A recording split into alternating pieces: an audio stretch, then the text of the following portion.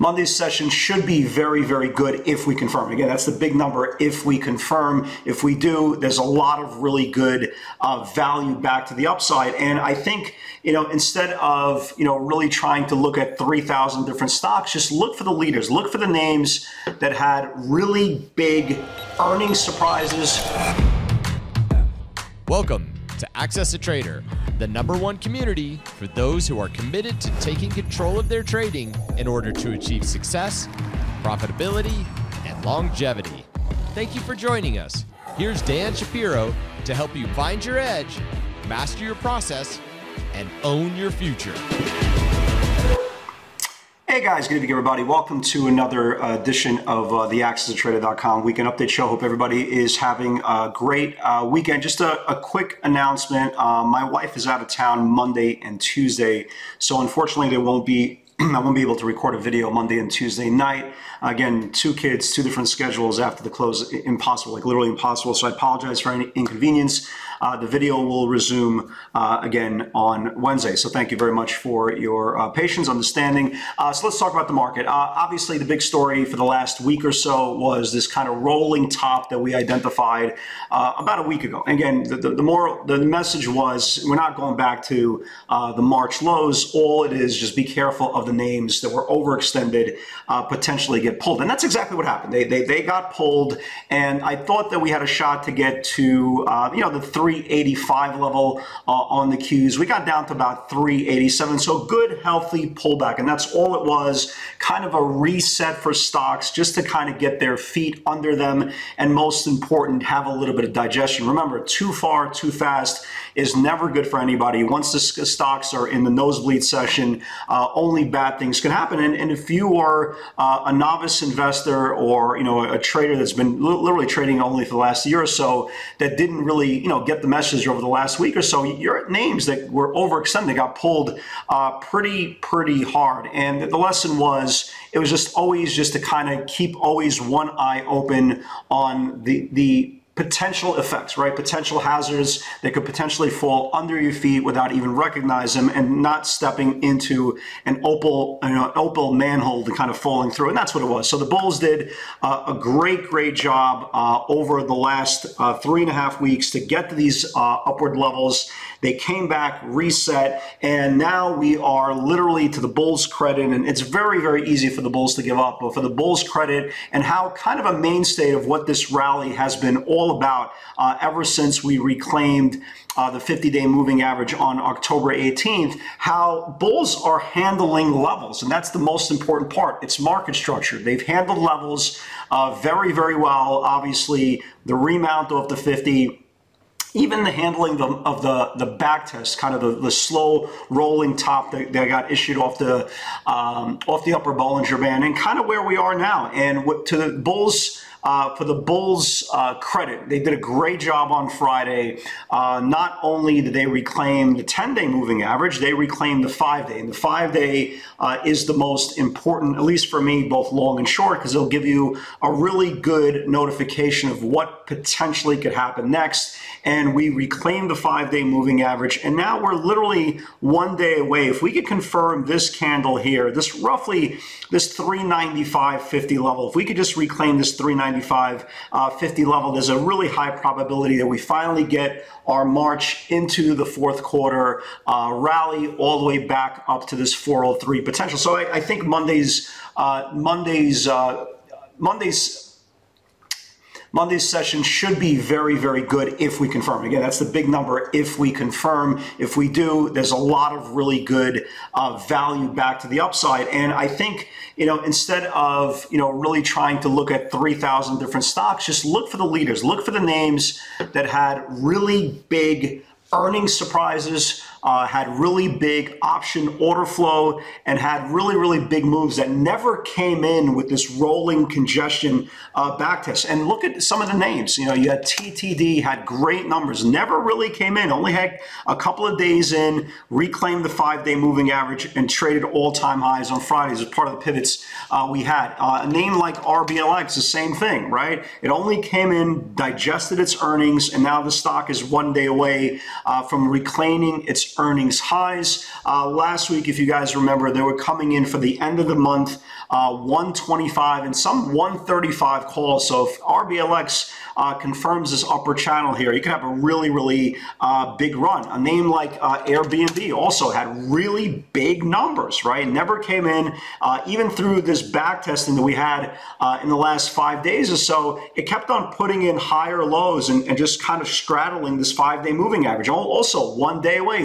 same as RBLX uh, also one day away from attacking uh, its earnings highs. Um, so that looks great uh, as well. Look at DXCM. Never went down, right? Had this big, big move, consolidated as well, ready to go higher. Look at a name like Qualcomm never came in, right? Same thing as uh, RBLX, same thing as Airbnb, had a big market run uh, on its earnings, putting in higher lows, straddling this five-day moving average, and now all it needs to do is just, just take out this little mini pennant here, and we're going back to all-time highs. So there's a lot of really good value. I think if it, it would take you, uh, it would take you five minutes to go through uh, the Nasdaq 100 charts going into Monday's session. If we confirm, you don't have to be too creative. There's a lot of really good names that are really coming out of aggressive channels, but not all is well. You still had uh, Tesla, uh, you know continuing to sell, lost the five day. There's some really aggressive pivots uh, this week on the downside. Uh, lost its 10 day moving average, uh, and now is trying to get back over the 20, but we're not sure exactly how much stock Elon Musk has to sell. This is obviously the axe uh, in this uh, sell off. Do I believe after he gets cleaned up, does the stock kind of turn around, go back higher? Absolutely, I really do. Uh, but for now, nobody really knows how many shares he has left. Um, so far, I, I, don't know what the number was that he sold. I think it's a very fluid situation. Nobody will really know until he's done and actually probably, right, gun to my head, will probably tweet out and say, hey, by the way, I'm done selling my stock. So I, I think there'll probably be a little bit more pressure uh, on Tesla going into this week, but I, I, don't think it's something that is going to last that much longer uh, just because once they clean them up, I think the stock uh, just based on sheer euphoria and sheer uh, people buying uh, aggressive dips in the name, uh, will probably start turning around uh, at some point in the future. But for the next couple of days, I still believe uh, the value to the name is still to the downside on some names. And a name like, you know, names like Zillow, right? Zillow, I really like once it starts taking out uh, really once it starts taking out the earnings low I, I believe once it does you're going to have a couple of weeks of really slow drip death in the stock. And that's exactly what happened uh, with Fubo on Friday, despite uh, the market, the, you know, the rest of the market really getting their feet back uh, on solid ground. You can see what happened. Once it started losing, uh, two days ago, it started losing its earnings low, and now it's just kind of floating down. And I probably see the same thing in the future for Zillow as you're starting to see for Fubo. So both of those names, you're probably going to, you know, you're probably going to see more kind of drip, slow drip death. I don't know, I don't want to call it death, but sheer weakness. So far, I know some of you guys already started um, a short position on Fubo, and now we are waiting for uh, Zillow uh, to confirm. So I, I, think going into Monday's session, it's pretty, you know, a lot of times, again, you have, you know, a lot of uh, a lot of things you have to consider, play devil's advocate. I, I think it's a pretty basic uh, trading session for Monday. If we can just confirm this channel right here, we start uh, channel back to the upside and all-time highs. If we get rejected on this channel, then obviously we're going to, you know, start falling apart, uh, possibly going back to Thursday's low. So again, pretty important day, but if everything plays out the way it should, just a just a just a sheer aggression, uh, which we saw on Friday in a lot of names. Uh, again, gun to my head, I think we do uh, go higher. So let's talk about uh, Friday's session. I, I was preparing for the downside. I was I was definitely waiting for that second wave. Uh, down that never came. But the cool part about trading, and if you've been doing this for a long time, you have an opinion. Your opinion could be wrong, right? Uh, you know, my opinion was five days ago I saw a rolling top and we played out that way and the value was to the downside. Um, I thought we were going to have one more day of selling, which kind of never came, but that's cool. Again, you're, you're, you're allowed to be wrong. You know, I'm wrong every single day. Your opinion could be wrong every single day as long as you're not stubborn enough to kind of force the issue in that direction without having proper confirmation. Once you know, once the market shifts and uh, stocks start reclaiming levels and the ETFs start reclaiming levels, you just got to jump ship. You got to jump ship with your opinion. It's not about being right. It's not. It's about being. Uh, it's about being proper reading the market, and that's the most important part. And again, I started. Uh, I started the day. I was looking a lot of shorts. Again, I was looking at Zillow. I was looking at ISRG. Fubo is the is the one of the very few that triggered 2485 It builds below, closed pretty much at the lows that they near the $24 level. I, I think the stock goes lower. Uh, QS, I kind of like. I'm very very surprised. Uh, QS didn't participate uh, in Friday's rally. I still like it. I think the stock looks really, really good. Guys, keep an eye on this thing for this week. Uh, this thing starts building the $40 area. I still think goes higher. Uh, there's a lot of deep out of the money call bets, uh, short term expiration for the next a couple of weeks. So this thing looks good. Definitely keep an eye on QS. Hey, maybe just rested. Okay, a lot of times uh, maybe you know stocks just rested. Uh, SP, SPLK I was watching to the downside, obviously never confirmed as well. ONDS I was watching to the upside, never confirmed. Uh, look at oh, keep an eye on ONDS guys. Uh, maybe this thing again also rested. Watch this ONDS. They did have twelve and a half dollar calls going into the end of the month uh, expiration. Uh, watch this $11 break on ONDS for this week. Um, and Lucid, again, I'm watching as well. Nice looking chart. Didn't confirm, which was very, very uh, odd considering how strong the tape was. SEH also didn't confirm to the upside.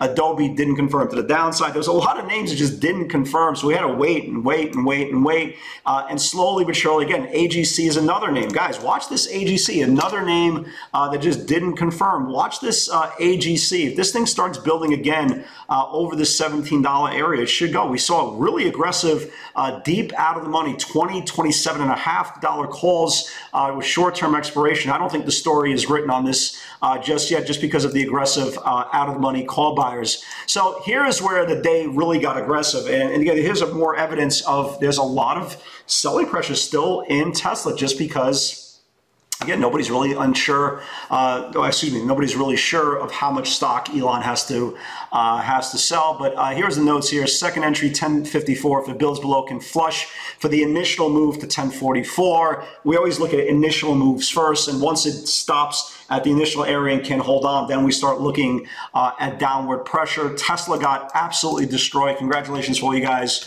uh, who caught Tesla. So here is the 1054. It took out this whole channel here, traded all the way down to 1041. That was the initial move, a $13 candle, rallied a little bit. And once it lost that 1041, got massacred. It went all the way down to 1019. Uh, if you look at levels for Tesla, you have uh, this 1013 support, and then if it starts losing the 1013, considering if he's selling more stock, uh, then you see the 987 lows uh, from a week. And if this thing loses 987, then you got another uh, pretty aggressive tidal wave ahead. But it's all predicated on how much stock uh, he sold and how much stock he plans uh, to sell. So a really, really big move on Tesla. AMD started seeing things to the upside. AMD 147.30 rejected twice, needs to build. Not a big move, uh, like a dollar fifty move, but the point is, uh, you can see here's the 147.30 and went all the way up to uh, 48 and a half. But the point is, if the market starts putting up upward bias pressure, uh, you have a potential move to the 142 uh, initial measured potential. And here is kind of what we talked about on, on, on Tesla. So you had 1044 and then you had 1033, it broke out, and 1014. And then obviously a buyer came in with pretty big size. And keep this in mind for next week, they, he came in with nearly a million dollars uh, worth of premium for this week's uh, a thousand puts. Again, this could people are really betting uh, that it's going to start getting stretched out as Elon continues uh, to make sales. Uh, NVIDIA, not a big move here. You know, it was like a $1.50 trade. It stopped perfectly at the bottom. Uh, 97.70 is big support. If it builds below, can flush. Traded down to like 90, like 96. Nothing big there. Uh, TTD, again, really big uh, mover. Had great earnings, reclaimed earnings highs. 98.20 needs to build. Uh, here was TTD. I still like this thing going into Monday. Uh, took out the 98.20, went to almost 101. I still like it for upside buys, assuming the market continues its move. So that was good. Uh, again, here's a note: some Fubo should drift for the next week or so, and that's exactly uh, what happened. What's happening? Uh, here goes TTD 100 test, one to 101. AMD new highs. Zillow, I really, really like the Zillow short. Uh, it's going to be a swing. It's not a day trade, but it, once this thing starts closing and starts building under this uh, 63 level, you're going to see a multiple week. Uh, it should see a multiple week decline uh, there as well. So that's it. So we are set up uh, for this week. Again, the big number on the Qs uh, is this candle here, which is 95.36. Once it gets above this 95.36 area, you should start seeing some aggressive buys back to the upside. Oh, one little stock you guys should really watch for this week uh, is this little stock RGS. Um, I don't know what this was, but look at this Look at this volume bar here. Really, really big volume bar. It broke out, uh, put in its highest close into, into the supply. They were coming for December seven and a half dollar calls on repeat buyers. Now again, I'm not a you know I'm not the sharpest tool in the shed, but the stock is at three. You know, the stock is at 350. They're betting for a point a move a seven and a half. Hey, if this thing starts reclaiming this whole channel here, maybe you can get a year end surprise. Guys, have a great remainder of your weekend. God bless. Again, there's no broadcast on Monday. There's no video, excuse me. There's no video on, on Monday or Tuesday. My wife's out of town. I'm playing uh, daddy duty. It will resume on Wednesday. Guys, God bless and have a great weekend.